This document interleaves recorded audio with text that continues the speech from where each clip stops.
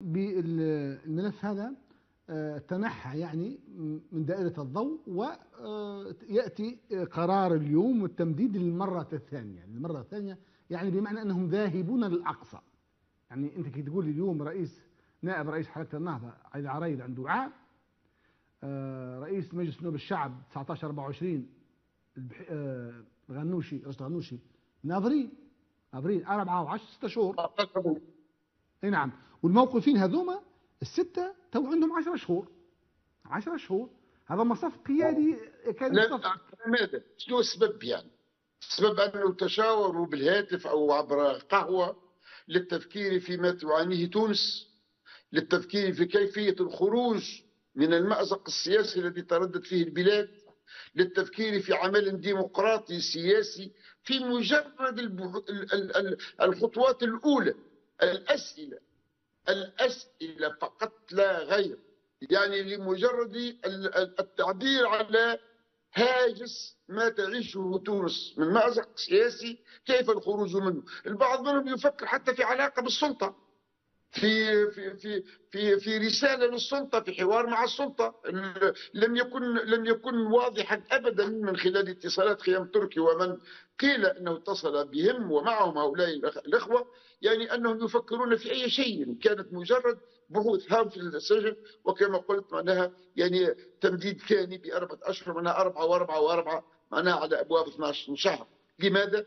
للتفكير. يعني ربما نصل يوم من الأيام إلى إيقافات الناس على ما يمكن أن يكون تأملوه في في عقولهم في أذهانهم لم يصرحوا به. يعني هذه المشكلة الكبيرة في تونس أن لو كانت هناك اتهامات ثابتة و و و وأمور ملموسة تقال للشعب التونسي نحن جميعا لا نعتبر أيا كان فوق فوق القانون وفوق يعني آه، الاتهام لكن أن يكون الإنسان متهما ومدانا وعليه أن يثبت براءته.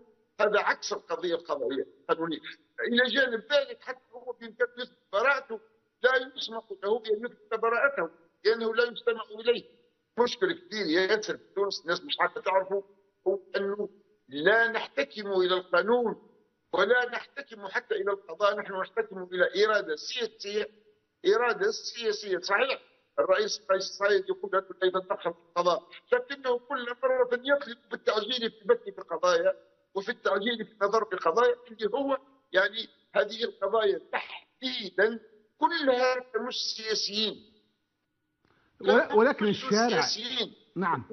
أنا محتكر لم نسمع ابدا بفاسد أو محتكر يعني الناس كلها في الجانب السياسي الايقافات والاتهامات أخرى. والناس كلها يعرفوا الاتهامات الحقيقية. هي موقف موقف من الانقلاب من الذي حصل يوم 25 جويلية تموز 2021 حول حول يعني الدستور والشرعية والمؤسسات الديمقراطية وغير ذلك من من الإجراءات اللي هي آه، أنا عايشين في ظلها إحنا الآن آه، لمدة تجاوزت السنتين.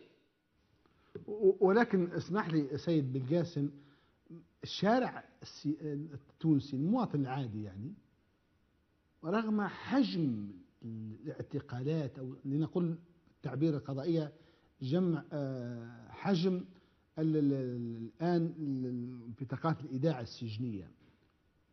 الصفوف الأولى المعارضه الشارع يبدو غير مهتم. فما بكت عليهم السماء والأرض وما كانوا منظرين. أنت لا تتلمس ذلك كمعارضة؟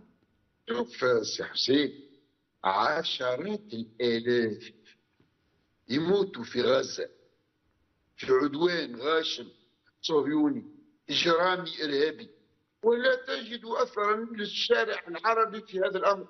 هل لا يعني هل يعني ذلك أن الذي يحصل في غزة لا وجود له؟ يعني لا نقيس الأمور بموقف الشارع. الشارع الشارع يعاني كثيرا في الوطن العربي وفي بلادنا العربية بشكل عام. شارع يعاني من الاستبداد ومن الإقصاء ومن الإلغاء ومن الحرمان ومن الاستبعاد من الجانب السياسي. يستدعى للانتخابات يستدعى للجباية يستدعى للواجب العسكري يستدعى في مناسبات تتذكر الدولة اللي عندها شعب. ومن ذلك نحن نعيش من فترة طويلة منذ دول ما قبل لكن لكن اليوم يا سيدي القاسم لا أعتقد أن الشارع التونسي يمنعه من التظاهر الخوف أكثر.